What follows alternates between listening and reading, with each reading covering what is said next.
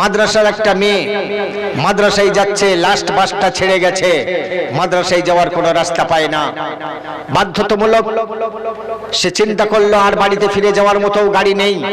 রাত হয়ে গেছে। কি করা যায়? মাদ্রাসার মেয়ে বোরকা পরে আছে, আপনাদের এখানেও মাদ্রাসার মেয়ে কিছু আছে যারা বোরকা পরে আছে। সে চিন্তা করল, দিনকাল ভালো নয়, আমি বোরকা পরে হিতা আমাকে যে কোনো প্রকারে কোনো একটা বাড়িতে গচ্ছিত হয়ে যেতে হবে।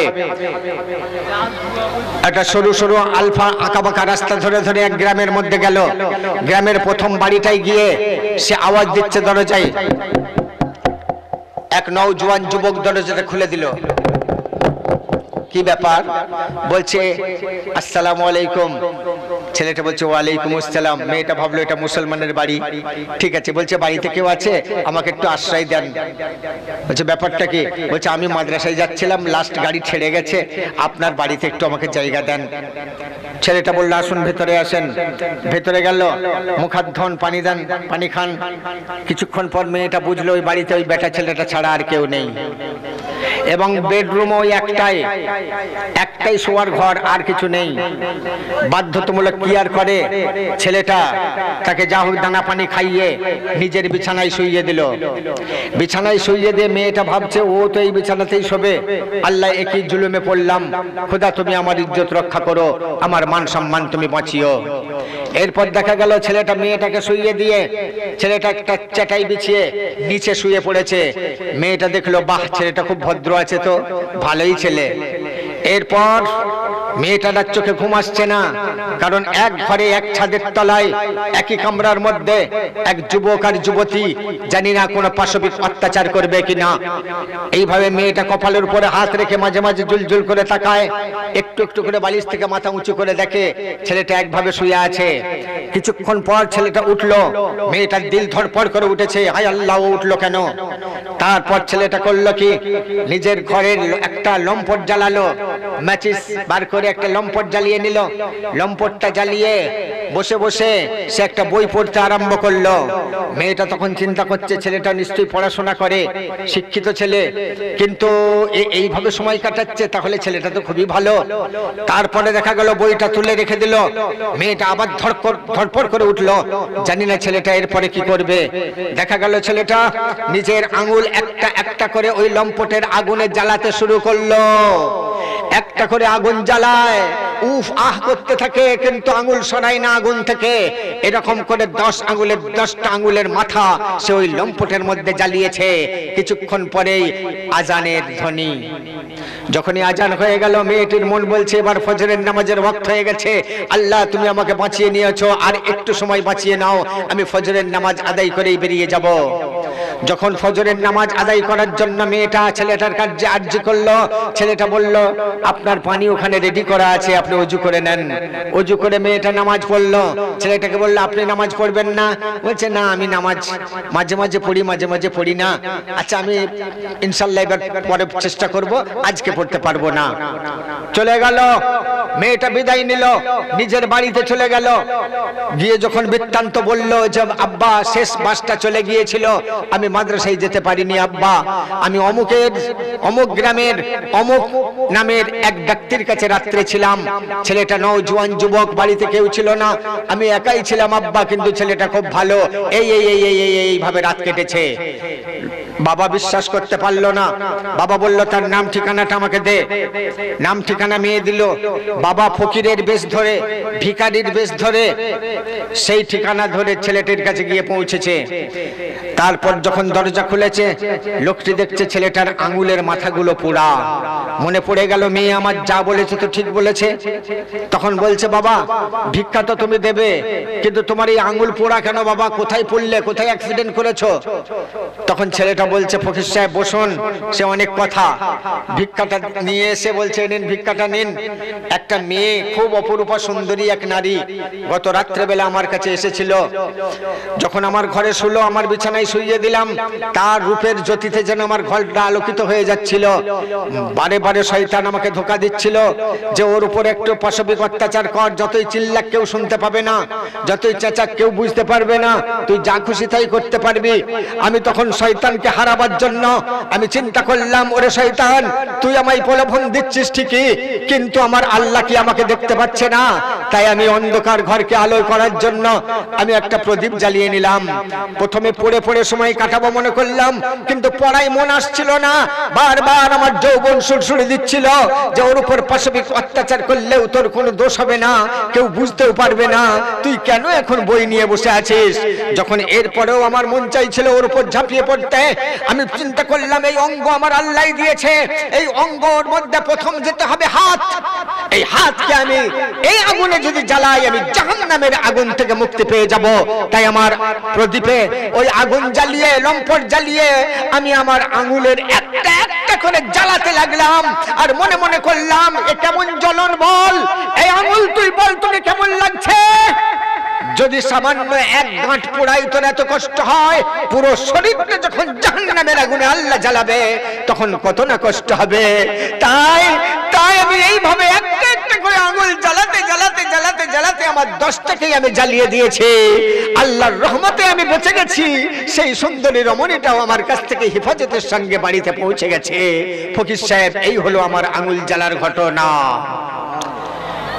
এ কথা শুনে মেয়ের বাবা চিন্তা করল, এমন আল্লাহওয়ালা ছেলে জগতে দ্বিতীয় আর পাবো কি না? তাই এমন আল্লাহওয়ালা ছেলেকে আর হাত ছাড়া করব না। মেয়েকে আর মাদ্রাসায় না পাঠিয়ে এর ঘরের সংসারের রানী করে দেব। বাড়িতে গেল, মেয়েকে বলল, বেটে, ছেলেটি কি তোর পছন্দ? আব্বা, এরকম আল্লাহওয়ালা ছেলেকে কেনা পছন্দ করে, আব্বা? নিশ্চয়ই নিশ্চয়ই ভালো ছেলে। আমি ওর সঙ্গে তোর বিবাহ দিতে চাই। মেয়েটি চুপ করে আছে। চুপ করার মানে হ্যাঁ। বেশ, ছেলেটির কাছে আসলো বাবা। সেদিনে যে রমণীটি তোমার কাছে এসেছিল, সে রমণীটি কেমন? বলে সে অপরূপা সুন্দরী। আচ্ছা তার সঙ্গে যদি তোমার বিবাহের ব্যবস্থা করি আমি ঘটক? হচ্ছে, না না, অত সুন্দরী শিক্ষিতা রমণী, আমার মতো এক জাহেল ছেলেকে সে বিয়ে করবে না।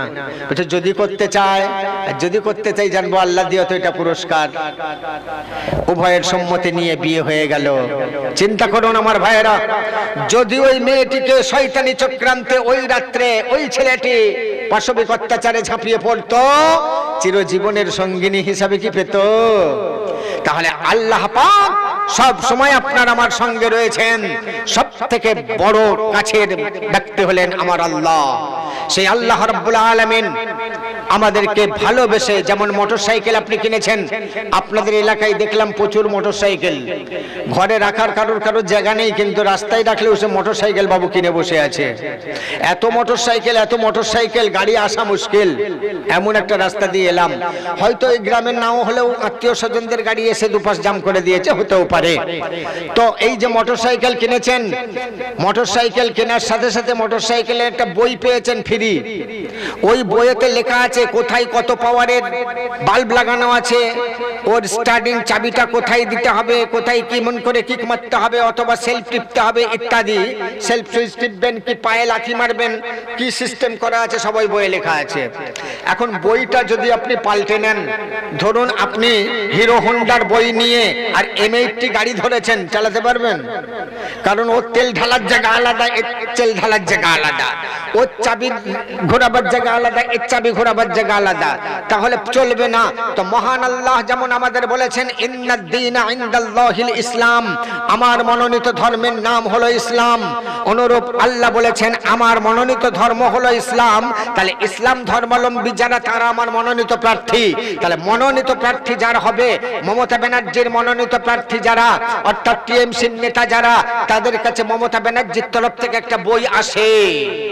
এর আগে বামফ্রন্টের নেতা যারা ছিলেন, তাদের কাছে বামফ্রন্টের দলীয় একটা পত্রিকা অথবা একটা বই তাদের কাছে আসতো। বিজেপি যারা করেন, তাদের কাছে একটা সংবিধান নামা সংবিধান পত্র তাদের কাছে আসে। অনুরূপ, আমরা যখন আল্লাহ মনোনীত প্রার্থী, তাহলে আমাদের কাছেও আল্লাহ মনোনীত কিছু কিতাব রয়েছে, সেই কিতাবটা আমাদের সবার বাড়িতে বাড়িতে আছে। আছে না নেই? আছে। সেই কিতাবটা যে বিধান দিয়েছে আমাদেরকে, খবরদার বান্দা, ভুল করেও তুমি আল্লাহকে ভুলে যেও না। আল্লাহ তোমার একেবারে করিব। নাহনু আকরবু ইলাইকা। আল্লাহ একেবারে করিব। সব থেকে কাছে আমার আল্লাহ রয়েছেন সব থেকে কাছে। এর থেকে কাছে আর কেউ নেই। সেই আল্লাহ যখন আপনার আমার কাছে, তাহলে সেই আল্লাহকে আমরা ভুলে যাই কি করে? আর ভুলে গেছি কিনা ভাবুন? আল্লাহ পাক আমাদেরকে পাঠানোর আগে সমস্ত রুহকে একত্রিত করে জিজ্ঞাসা করলেন, বান্দা আলাস্তুবি রব্বিকুম আমি কি তোমাদের প্রভু নই? আমরা সকলেই বললাম, কলু বালা হ্যাঁ আপনি আমাদের প্রভু। আল্লাহ বললেন, বললে তো সামনে, কিন্তু পেছনেও বলো কিনা, আমি আল্লাহ দেখব। তার জন্য তোমাদেরকে এমন জায়গায় পাঠিয়ে দিচ্ছি, যার নাম হলো দুনিয়া। মনে রেখো, আর দুনিয়া ও মাজরাতুল আখিরা, দুনিয়াটা হচ্ছে আখিরাতের চাষ জমি। এখান থেকে ফসল ফলাবে, ওখানে নিয়ে গিয়ে তা ভোগ করবে। সুতরাং আমি এমন জায়গায় পাঠিয়ে দিচ্ছি, যেখানে তোমার সামনে থাকব, পেছনে থাকব, ডান দিকে থাকব, বাম দিকে থাকব, উপরে থাকব, নিচে থাকব, ভেতরে থাকব, বাইরে থাকব, জাহিরে থাকব, বাতিলে থাকব। কিন্তু আমি আল্লাহ আমাকে দেখার মতো চোখ তোমার দেব না। আল্লাহকে জিজ্ঞাসা করলাম, আল্লাহ আপনি কেন থাকবেন? আল্লাহ বললেন, এই যে রব বলে স্বীকার করলে দুনিয়াতে যখন আমাকে দেখতে পাবে না, সেখানেও রব রব রব রব বলো কি না এটা শোনার জন্য আমি থাকব। আল্লাহকে জিজ্ঞাসা করলাম, আল্লাহ, যদি আমরা রব বলি, আপনি যদি শুনতে পান, তাহলে কি দেবেন? আল্লাহ বললেন মঞ্জা আবিল হাসানাতি ফালাহু আশরু আমসালিহা। ও বান্দা তুমি একবার রব বলবে একবার, আমি আল্লাহ একের বদলে দশ দেনেওয়ালা আল্লাহ, তোমার জন্য দশটা করে দেব, দশটা করে। আল্লাহকে জিজ্ঞাসা করলাম, আল্লাহ কি দেবেন দশটা করে? কি দেবেন? আল্লাহ বললেন ইয়াখরুজু মিনহুমাল লুলু ওয়াল মারজান, ফাবিআইয়ি আলাই রাব্বিকুমা তুকাজ্জিবান ও মতি। আর মারজান মানে হলো মিস আম্বার আর মিশ্রিত ক্রিম। রাজমিস্ত্রিরা যেমন ইটের দেওয়াল গড়তে গেলে ইট লাগায়, পরে বালি সিমেন্টের মশলা মারে, আবার ইট লাগায়, মাঝে আবার মশলা মারে। আল্লাহ বললেন বান্দারে একবার রব বলবে, আমি দশটা করে মতির টুকরো, ওই মারজান আর জাফরান মিশ্রিত ক্রিম বসিয়ে বসিয়ে মতির টুকরো সাজাতে সাজাতে আমি জান্নাতে তোমাদের জন্য মহল তৈরি করব। কে কবার রব বলেন? ও ভাইরা রব কবার বলেন। রব শব্দটা সারা দিনে কবার বলেন। যে যতবার বলবেন ততবার, তত বড় জান্নাতে মহল তৈরি হচ্ছে, জেনে রাখবেন। কে কবার রব বলেন? আমি পাঁচশো আঠাশ বার রব বলি। আমার নামাজি বাবজি পাঁচশো আঠাশ বার রব বলে। আমার ওই যুবক ভাই পাঁচশো আঠাশ বার রব বলে। আপনি কবার বলেন? আমার এই বাবু পাঁচশো আঠাশ বার রব বলে। বলেন তো। বলে, আপনি কবার বলেন?